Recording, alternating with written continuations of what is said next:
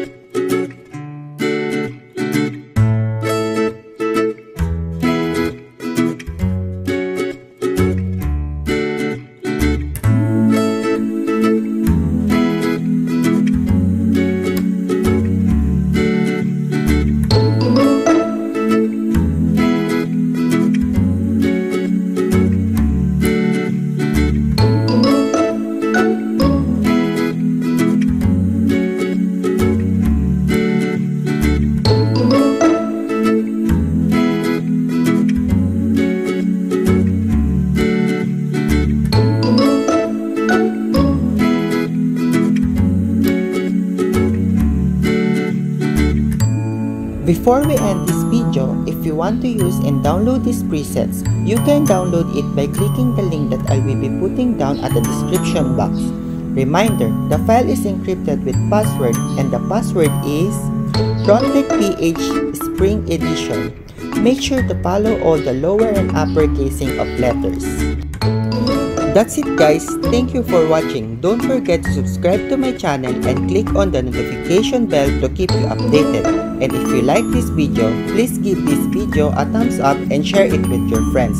Have a nice day everyone.